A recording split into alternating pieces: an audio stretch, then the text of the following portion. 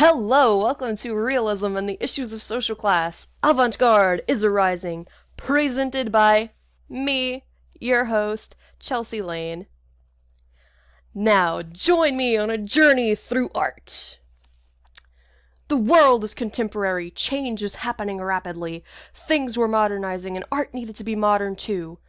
The problem that came along with this was that this was the time period of the 1800s and 1900s, and people were still invested in the classical past, which meant that modern artists seemed to be lacking in their favorite form of tradition. Realists were not interested in tradition. They were busy focusing on the working class and their everyday lives in its truest sense. There was no romanticism or idealism involved. It was direct and to the point. That was how art should be. We don't need to sugarcoat anything for you people. You see it just like we do, so what's the difference if you see it in real life or in a painting? So my main focus of this little chat here is going to be on Courbet, because he seems to be like a very hot topic when it comes to the harsh realities of realism, especially in terms of social class. Most of society views art as something that should reflect good things from reality. Reality isn't all that sweet. You don't get all the good, sweet things you see in an idealized painting. Paintings really provoked hostility in middle class society. It was pretty revolutionary in the avant garde world. I'm not going to talk too much about avant garde, but that's basically what all of this is from the 1800s forward. It's charging forward and testing new ground, which avant garde is French is a it's a French word that means advanced guard, basically like scouts kind of thing. But if it helps you visualize it better, these artworks from this time were similar to music history, like when the Beatles first came around and introduced rock to the classical people who were saying, That's not music! Or when rap first came to replace rock. The rock people were saying, That's not even music, that's gibberish! It's all very similar. The music was avant garde. My point is that people didn't like the new art, and they would say, That's not art, I don't like that. That is not art. There was just such a low acceptance. There was so much judging going around. But everywhere was becoming more modern. Why should artists be left out of the modern move? There were more and more artworks focusing on works, pe- work, workers, peasants, poor people, and crowds. It was the more problematic type of paintings that artists would simply choose to paint. Quaintness, local color, traditions, and processions expressed social order. Fields and streets illustrated the wholesome happiness possible through the spontaneity, never threatened to become disorder. These kinds of works of the working class were almost against the unspoken constraint in the concrete portrayal in society's lower orders. The lower classes were portrayed how the, the lower classes were portrayed mattered a lot, especially to the upper classes. But a lot of artists simply had sympathetic views of the lower class. Peasants were victims of nature, basically. And this, this is where my two main artists, Gustave Courbet and Jean-Francois Millet, come in. I don't speak French, if you can tell. They have a few differences, but they were both interested in painting the lower class.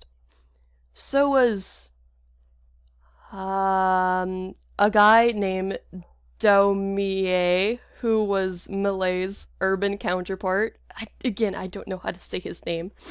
But he got some pretty interesting work that I want to talk about last because it's so cool and attacking, and you're just going to love it as much as I do. So, first, we're going to talk about The Stonebreakers, a painting by Courbet. It's way more confined and harsh, if you can tell. There's only a little corner at the top where you could see the sky, and that represents the freedom that they could have. of course, that's only confined to a little area of the painting. Now, opposing that confined space right there, Millet's painting, The Gleaners, visually appears much freer despite also showing the working class. It shows the open sky and much more opportunity. Courbet's meaning is in painting realistic things rather than idealized versions of reality. The Gleaners is almost idealistic in showing that these workers are almost free. Still, both paintings from both artists depict a kind of rural poverty, but Millet's The Gleaner, Gleaners was exhibited at the salon. It created a quite a different kind of controversy. Still, the paintings depict hard labor, which was true to fact. Getting more about Courbet, his painting, this wonderful painting right here, A Burial at Ornans, I don't know how to say that. Correct me if I'm wrong. Really shows the true feelings found at a funeral. I shouldn't sound so happy about this. It's dark. There are a lot of emotions that are not positive. There was no sugarcoating what a funeral looked like. There's so much emotion that goes through paintings of Courbet. It's so sympathetic. Courbet even says himself, The people have my sympathies. I must address myself to them directly. He was an avant garde painter of unwanted facts. But I really enjoy how straightforward he was about painting what was right in front of him rather than what he couldn't see.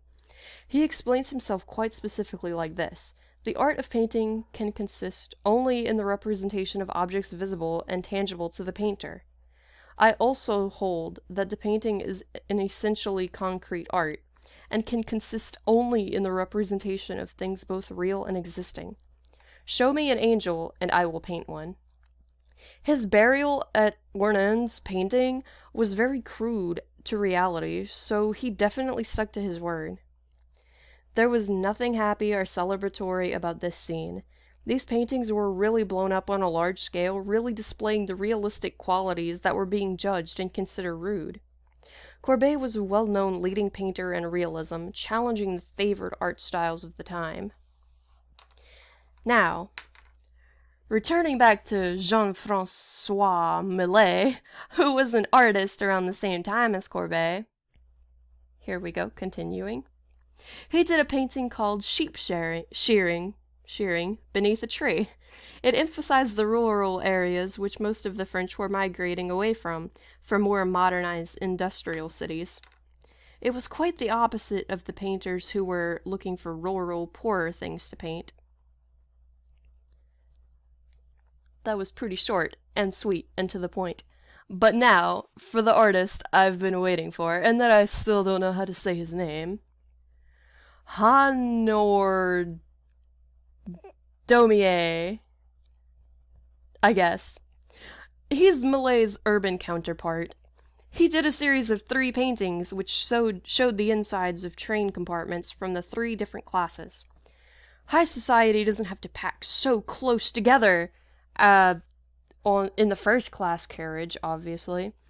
And then as you go from the second class carriage to the third class carriage, it gets more and more crowded. The lower classes have to be packed together and closer, all bunched up like little penguins or something. It really seems to depict the poor state of the third classes, the third class and second class, especially in comparison with the first class passengers. I feel that it was really calling people out. I have to admit, if I were in the first class, I don't think I would appreciate some artist making me look bad by comparing my amazing lifestyle to that of the lowest class. I mean, that just makes me look bad. So, I kind of get the tension that the upper class would have with these artists. But Daumier also did lithographs in a French journal La caricature and le charivari. I'm so sorry, I don't speak French. In which he was satirizing the government officials and the manners of the bourgeoisie. But much like other artists, he doesn't withhold his opinions, and I really like that about his works.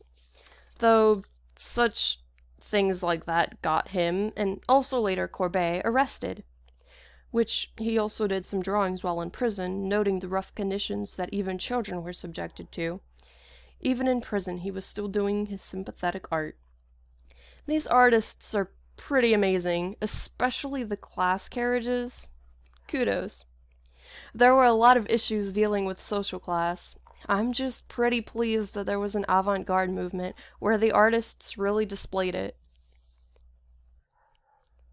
Finally, my bibliography. You have my amazing sources that you can also go and read anytime you want. Well, thank you for listening.